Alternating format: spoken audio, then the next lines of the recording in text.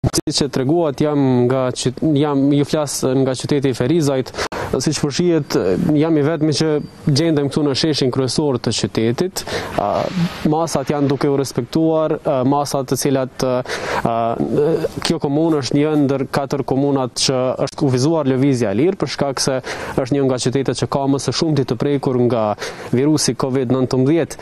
A, kemi parë që të paktën këtu në qendër të qytetit janë mbyllur edhe lokalet e gastronomisë, si masë tjetër preventive për parandalimin e virusit, që është në nivel të vendit. Për të folur më shumë rreth rasteve aktive që janë 101 raste aktive në Ferizaj, të paktën para se të dalë komunikata e re nga IKSHP-ja, kam afër drejtorin e spitalit të Ferizajt, zotri Jeton Zeqiri, i cili do të na tregojë për gjendjen e pacientëve në këtë komunë. Drejtor, faleminderit shumë. A mundeni me na tregu çysh është gjendja e pacientëve këtu në Ferizaj? Po, në qytetin tonë të Ferizajt i kemi 101 raste aktive, diku 139 raste të shëruara, ndërsa sa i përket rasteve të cilat i kemi të hospitalizuara, siç e dini të gjitha regjionet në Republikën e Kosovës kanë filluar trajtimin e Covid nëntëmbëdhjetë, kështu edhe ne si Spital i Përgjithshëm në fillim e kemi adaptuar një repart mirëpo vazhdimisht është duke u rritur numri, gjendja është alarmante, ne sot e kemi hapur edhe një repart tjetër, mirëpo në të dy repartet domethënë i kemi të hospitalizuar dikun katërmbëdhjetë pacientë, të cilët prej tyre. A po mundeni me menaxhu situatën? Po është e domosdoshme për arsye se Qendra Klinike Universitare është e stërngarkuar dhe ne duhet t'i dalim n'ndihmë kolegëve tanë dhe institucionit të Qendrës Klinike Universitare për arsye se ne presim edhe një rritje edhe më të madhe të numrit të cilët kanë nevojë për trajtim hospitalor.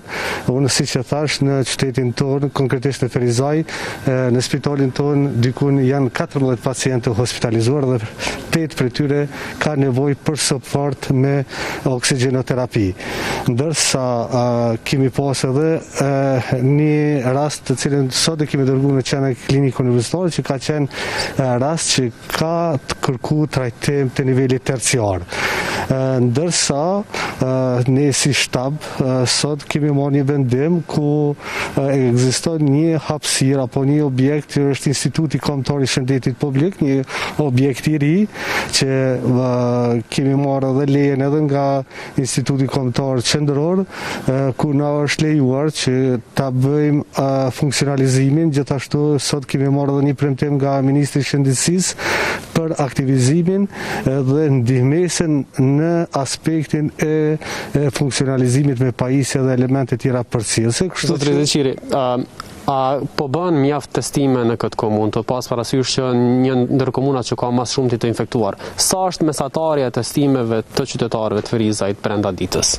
Unë si profesionist në aspektin si anestesiolog, por edhe si menaxher drejtor i spitalit të përgjithshëm të Ferizajt, ma testimi për neve nuk është i rëndësishëm. Arsyeja unë ashtu mendoj personalisht, arsyeja se ne jemi tu u ballafaquar me raste me simptome klinike, dhe rastet të cilat neve na nevojiten për testim është vetëm për t'u konfirmuar dhe që t'i hospitalizojmë dy ose tre pacientë në një dhomë, ndërsa nuk që nuk çon peshë më është pozitiv apo negativ, ne duhet të merremi me gjendjen klinike të qytetarëve tonë, të cilët vazhdimisht kërkojnë ndihmë nëpër institucionet tona. Çka duhet me ndërmarrë? Ministria e Shëndetësisë për me pas mundësi me i trajtu qysh duhet pacientat që janë gjendje t'ronë, kritike? Ministria e Shëndetësisë duhet të na sigurojë masa mbrojtëse, duhet të kemi një stimulim për stafin që vazhdimisht është i ngarkuar dhe ditët në vazhdim do të jetë i ngarkuar.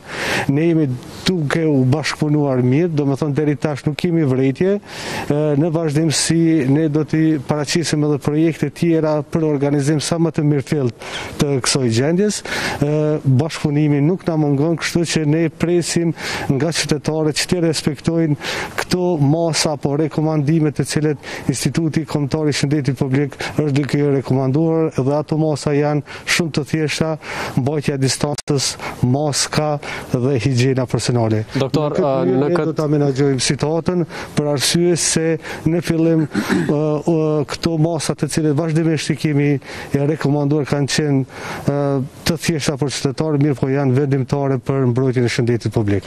A ju bëni pjesë në shtabin emergjent komunal për me udhëheq situatën me pandeminë.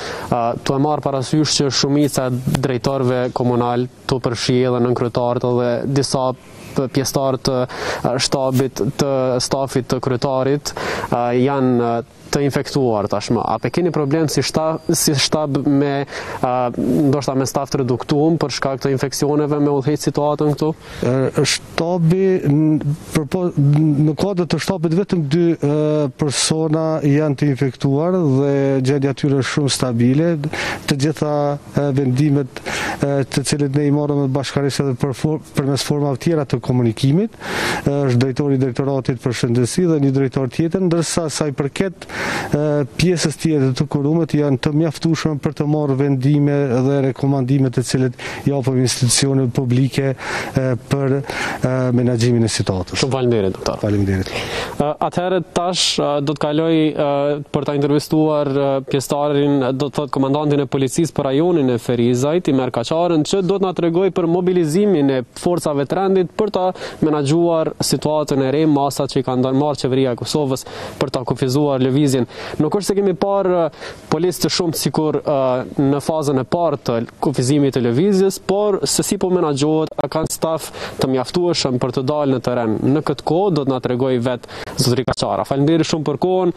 Sa policë, sa ekipe jeni në terren tash në Ferizaj? Faleminderit. Gjithsej sa i përket njësive policore në terren tash kemi gjithsej 7 njësi. të cilat janë pika statike duke monitoruar vendimin e ri të Qeverisë së Republikës së Kosovës, ndërsa kemi edhe katër njësi tjera që janë njësi mobile në mbulim të terrenit edhe normalisht shikimi se si po implementohet vendimi i Qeverisë së Republikës së Kosovës në lidhje me masat. A keni pa lëvizje të qytetarëve prej orës nëntë kur ka fillu edhe kufizimi i lëvizjes edhe çka ndërmerrni kur e sheni dikon në rrugë që nuk është sipas arsyeve që tashmë janë në vendim të qeverisë? Shfrytëzoj rastin t'i falënderoj gjithë qytetarët edhe pronarët e bizneseve që kanë respektu në mënyrën ma të mirë të mundshme vendimin e ri të qeverisë. Normalisht deri këto momente kur po flasim nuk kemi pas asnjë që ka të bëjë me shkeljen e atij vendimi, por në rast se ka raste të tilla me siguri se ne do të koordinohemi dhe do t'i marrim veprimet tona ligjore. Çka parashihet, çfarë veprimesh parashihen? Po në bazë të kodit procedurës penale normalisht që do të veprojmë në bazë të kodit.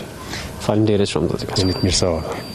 Atëherë janë pesë arsye të cilat i lejojnë qytetarët që të dalin në këtë kohë, është rasti në në rast nevoje për t'u kujdesur për persona të sëmurë, të cilët nuk mund të kujdesen për vete, në rast të kërkimit të ndihmës nga institucionet përkatëse, për shembull kur ka dhunë në familje për ta raportuar rastin, në rast të vdekjes së anëtarit të familjes, në rast të paraqitjes së nevojave për dalje jashtë shtëpisë, për nevoja të kafshëve shtëpiake të cilat qytetarët mund t'i mbajnë. Po ashtu, këto janë arsyet të cilat duhet të jepen për forcat e rendit në rast se takohet dikush që është jashtë shtëpisë në këtë kohë kur kufizohet lëvizja e qytetarëve.